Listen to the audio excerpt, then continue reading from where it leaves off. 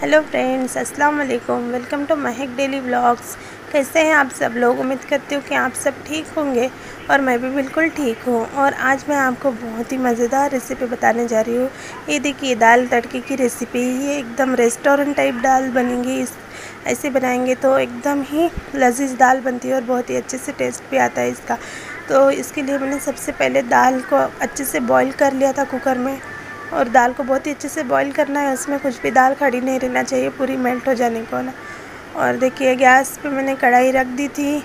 एक प्याज और एक मिर्ची, हरी मिर्ची दो से तीन मैंने काट लिए थे। देखिए, तेल गर्म हुए बाद मैंने अदरक, ये सॉरी जीरा और राई उसमें डाल दिए थे। जीरा राई जैसे चटकते हैं तो उसके बाद मैंने प्याज और मिर्ची उसमें ऐड कर दी थी।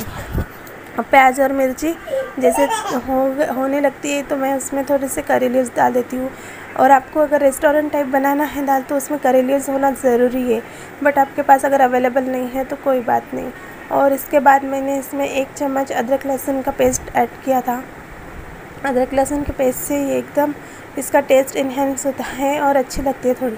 अब ये पेस्ट को अच्छे से पकने देते हैं अदरक लहसुन के साथ और अदरक लहसुन के पेस्ट को इसके प्याज के साथ अच्छे से पकने देंगे। इसके बाद टमाटर काट लेंगे। देखिए, इसे अच्छे से चलाते रहना है ताकि अब हमारा अदरक लहसुन का पेस्ट है, वो कढ़ाई में ना चिपके। और देखिए, दो टमाटर लिए थे मैंने मीडियम साइज़ के, उसे अच्छे से थोड़ा मोटा ही काट लिया था मैंने।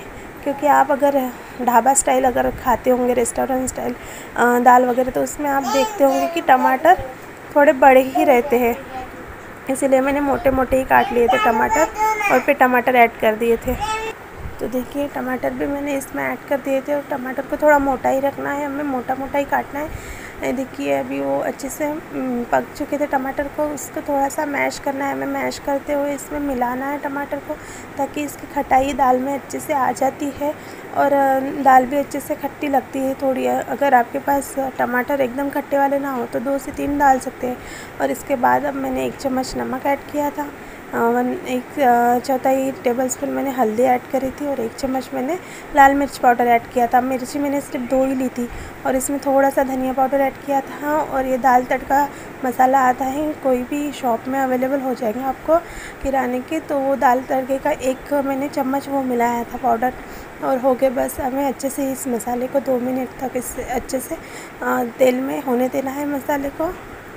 उसके बाद हम इसमें दाल ऐड कर देंगे।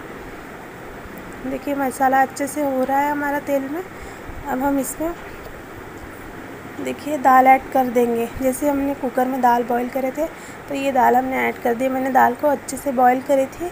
ताकि इसमें कोई भी दाल ऐसे बचे ना, ऐसे खड़ी खड़ी रहे तो दाल रहती है। ज़्यादा कुक नहीं हुई तो बट दाल को अच्छे से पका लिया था मैंने। देखिए, बिल्कुल रेस्टोरेंट स्टाइल दाल बन गई थी और बहुत ही अच्छे से इसका टेस्ट भी बहुत अच्छे से आता है। इसमें करी लीव्स वगैरह डालना देखिए, जैसे उबाल आता है, मैंने इसमें हरा धनिया भी ऐड कर दिया था और दाल को अच्छे से 10 मिनट तक अच्छे से उबाल आने के बाद भी 10 मिनट तक इसे अच्छे से पकाना है तो ये थोड़ी सी गाढ़ी गाढ़ी हो जाती है और एकदम ही ढाबा स्टाइल दाल बनती है। बहुत ही अच्छा टेस्ट आता है, आप एक बार ज़रूर बना के देखिएगा।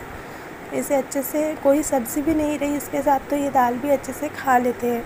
और अगर मेरी वीडियो आपको पसंद आती है तो प्लीज़ मेरे वीडियो को लाइक करा कीजिए, चैनल को सब्सक्राइब किया कीजिए ताकि मुझे मोटिवेशन मिलती है आपके एक लाइक से, आपके एक सब्सक्राइब से। तो यही कुछ था आज का व्लॉग देखिए दाल कितनी अच्छे से बन गई थी हमारी।